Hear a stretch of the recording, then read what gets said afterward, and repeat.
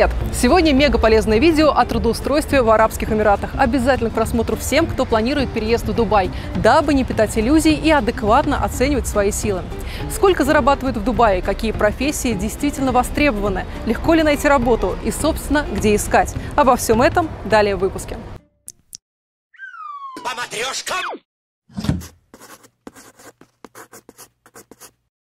Меня зовут Заплатинская Лариса Анатольевна. Я живу в Эмиратах уже 28 лет. Сюда я приехала в качестве переводчика с английского языка и устроилась переводчиком и администратором в нефтяную компанию. И с тех пор от простого администратора я совершила путь до HR-директора э, э, крупного инвестиционного фонда. История не одного часа, это очень долго рассказывать. Иными словами, Лариса – профессиональный HR-консультант с многолетним опытом работы в Эмиратах. Хилла Нолтон меня пригласил. Это пиар-компания британская, очень крупная, очень известная. Она работает для международных компаний. Там я была HR-специалистом. После Hill Нолтон меня пригласила Williams International. Это компания, они были э, партнеры Накхил. Их Накхил специально выписал из США э, для того, чтобы построить GLT. То есть я участвовала в строительстве GLT. Я помню, когда мы жили еще в маленьких э, сарайчиках, то есть это была полностью пустыня, еще не было ничего. GLT вырос э, на моих глазах, и более того, я участвовала в строительстве, я нанимала сотрудников. Это был очень уникальный опыт, потому что у меня были возможности нанять любых лучших архитекторов мира. Так мне вот Накил сказал. То есть я могла в любую страну, США, Великобританию, где я найду лучших архитекторов, позвонить и пригласить его, их сюда работать. То очень много было желающих, потому что это стройка века. И многие архитекторы стремились сюда попасть, именно чтобы как увековечить свое имя и поучаствовать в чем-то таком э, именно передовом, э, уникальном. А, ну, платили тоже неплохо, хорошо платили. Итак, строительная отрасль для трудоустройства в Дубае. Кто был в Эмирате, знает, что Дубай – одна большая стройка. Значит, и квалифицированные строители здесь тоже нужны. Но так ли это? Чтобы работать на таких профессиях, нужен хороший английский. Потому что нужно проходить э, технику безопасности, нужно сдавать э, экзамены по технике безопасности, прежде чем вас допустят работать на сайт. А, к сожалению, у наших соотечественников из России английский не на таком уровне, чтобы их сюда приглашали. Более того, мне сказали, вот сколько я пыталась из России э, привлечь специалистов, всегда у работодателя был один ответ, что они слишком дорогие, в других странах можно найти подешевле и лучшего качества. Вот лучшего качества я, может быть, э, поспорила бы. Одна из таких черт, которые работодатель приводит, это лень что э, ленивые может быть, они ожидают, что есть, здесь есть э, люди, которые готовы работать э, сверхурочные и ничего за это не получать. И этим они избаловали работодателя. И здесь, да, здесь надо очень много работать. Наши люди, они не подчиняются вот беспрекословно каким-то инструкциям. Они все-таки, у них творческое мышление, и у них свое, э, э, своя позиция, свое мнение на любую инструкцию, которую им дает э, работодатель. Не всегда работодатель готов к этому. Они начинают давать советы там, где их советов не просят где нужно просто пойти и сделать. Смотрите далее, каких профессионалов в Дубае действительно ждут, а каким лучше остаться дома. Сколько зарабатывают в Дубае и где искать вакансии. А пока у меня для вас будет еще одна полезная информация. Это один из популярных районов Дубая – GVC. Знаете ли вы, что те, кто купил здесь апартаменты полтора года назад, сегодня могут продать их дороже на 80%? Заметьте, район не у побережья. Тем не менее, это не мешает доходности, зато делает инвестирование более доступным. Подобная капитализация абсолютно частая и реальная история для Дубая. Главное – выбрать правильный объект, чтобы в условиях нарастающего финансового кризиса не только сохранить свои средства, но приумножить и получать пассивный доход. Дубай – это мировой хаб, центр торговли и туризма. Здесь находится самый загруженный аэропорт мира и лучшие авиалинии. Дубай входит в тройку городов мира, в которых количество туристов превышает численность местного населения на 459%, и турпоток ежегодно только растет. А значит, и потребность в комфортабельном жилье увеличивается.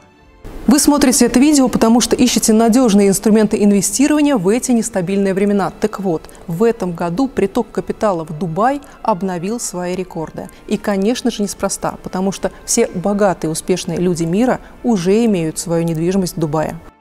Вот вам еще один реальный пример, как за 4 месяца сделать 1 миллион долларов. Район Джумейра Бич Резиденс.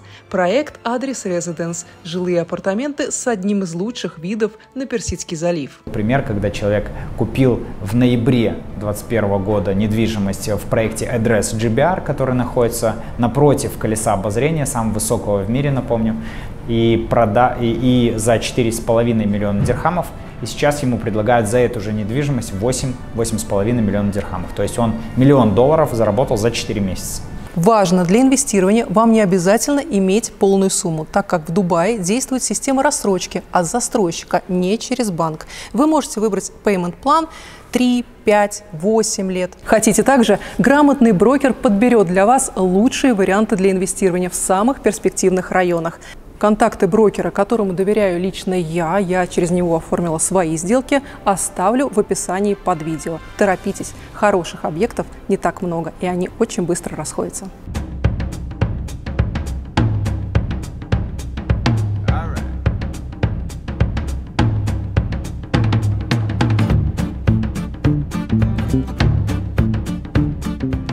Ждут специалистов определенных профессий так можно сказать.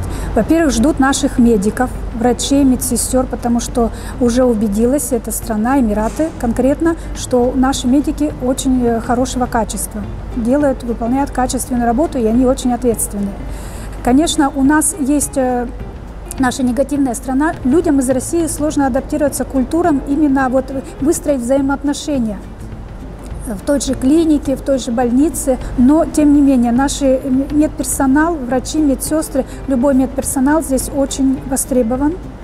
Конечно, нужно сдать, опять же, нужно владеть очень хорошо английским, потому что нужно сдать э, экзамен на получение лицензии, это все на английском языке. А, очень востребованы наши тренеры, все, что связано со спортом. Тоже убедились, что у нас очень высокого качества, высокого уровня. Эм, наши преподаватели хореографии, балета, музыки. Вот это все востребовано. Что, неужели юристам, бухгалтерам здесь делать нечего? Ну, не, нельзя так категорично говорить, что нечего делать. Но юристов, э, э, вот это самая менее востребованная специальность не только из России, а из любой страны. Во-первых, здесь адвокатами и э, в нашем понимании юристы могут работать только граждане этой страны. Все остальные, э, кто работает юристом или позиционирует себя юристами, они не адвокаты, они не имеют права вести адвокатскую практику, они не судьи, они не прокуроры, они просто э, советники. То юристам здесь придется заново обучаться всему совсем другая система. То же самое касаемо бухгалтеров. У нас совершенно другая бухгалтерская система. Э, в России и здесь она другая, здесь работают на совсем других софтах. Если человек готов адаптироваться, то он готов это изучить заранее.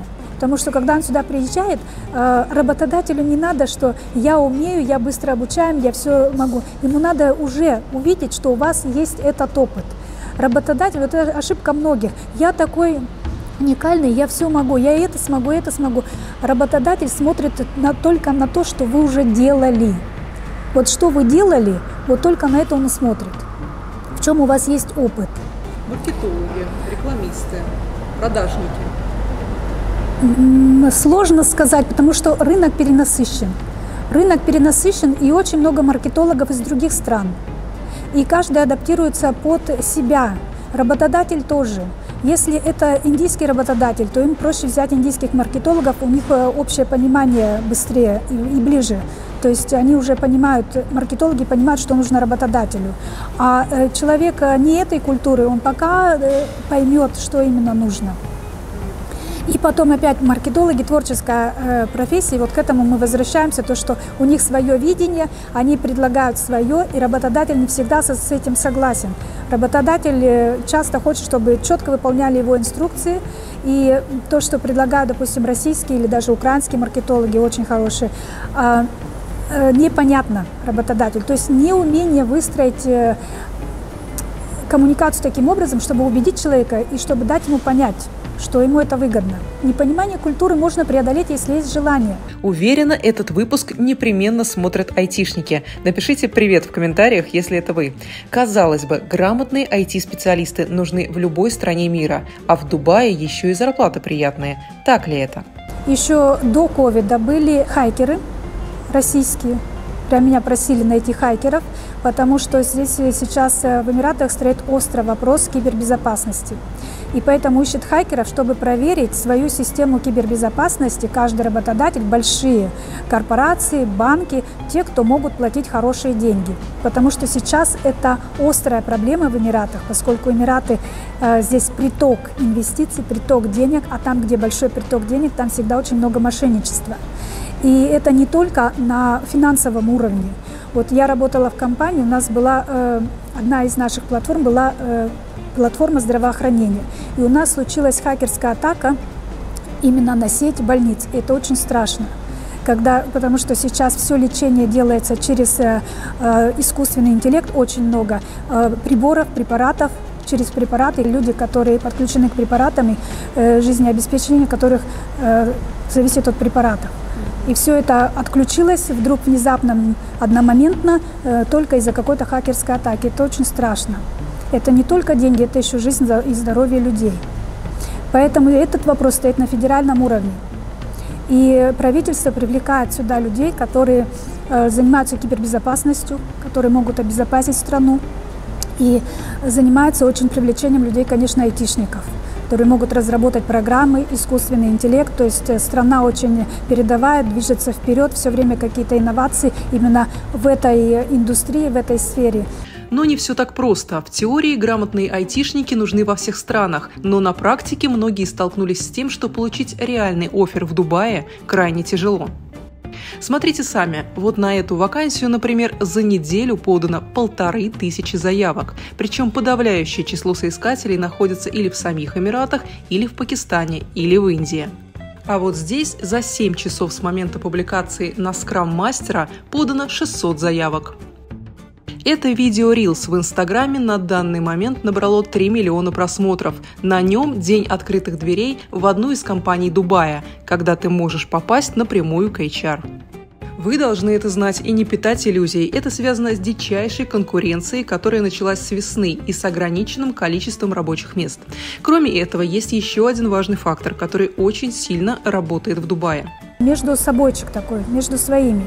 А, разумеется, что большая часть населения здесь индийцы, выходцы из Индии. Это от э, общих, э, общего процента экспатов это где-то 80%. Поэтому имеет место демпинг рынка труда. Зачем брать русского тестировщика за 20 тысяч дирхамов, если можно взять индийского за 5? И берут, порой закрывая глаза на квалификацию и уровень знаний. Индийцев здесь всегда было больше. Они здесь зарождали, зарождали всю э, экономику еще в 60-х годах, еще до э, того, как эта страна появилась как страна. Объединились эти Эмираты, они здесь зарождали торговлю всю. И поэтому, э, конечно, они захватили свою, свою нишу. Большую часть рынка захватили именно выходцы из Индии. И когда бизнес настолько сильно свернулся, конечно, на всех ключевых позициях сейчас стоят индийцы, и они стараются помочь своим соотечественникам. Причем их тоже достаточно много хороших и квалифицированных. Но опять же не факт, что работу получают самые лучшие, самые квалифицированные. Напишите в комментариях, хотели бы вы поработать в другой стране или у вас уже есть опыт, насколько быстро адаптировались, что было самым сложным. В конце выпуска мы дадим адреса порталов для поиска работы. Оставайтесь с нами и не забудьте подписаться на канал. В Эмиратах придется очень много работать. По крайней мере, на первых э, порах – очень много. И вообще, в принципе, Эмираты динамичная страна. И здесь, чтобы получить работу и чтобы удержаться на этой работе, нужно иметь большую выносливость, не среднего уровня выше, гораздо выше, очень большую выносливость. Если у человека слабое здоровье, слабая выносливость, я не рекомендую ему ехать сюда, потому что он тогда просто угро... еще больше угробит свое здоровье. У меня таких случаев очень много, очень много на работе, к сожалению. И плюс еще здесь дорогая медицина? Да. Медици... Здесь нет бесплатного медицинского обслуживания, люди должны понимать это. Здесь есть э, э, как оказание срочной медицинской помощи бесплатной в первые 24 часа, если э, случилась авария или какой-то несчастный случай. Здесь есть государственные больницы, которые первые 24 часа оказывают бесплатную помощь. Но после 24 часов даже там включается счетчик, и он не будет маленький.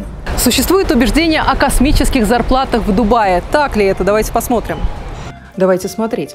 Берем IT-классику. Вакансию проектного менеджера. По данным портала Glassdoor, оклад начинается от 15 тысяч дирхамов. Повар получает в Дубае от 800 в среднем 3000 дирхамов. Водитель такси – 8 тысяч. Оклад официанта начинается от 2000 дирхамов. Средний заработок бармена доходит до 22 тысяч.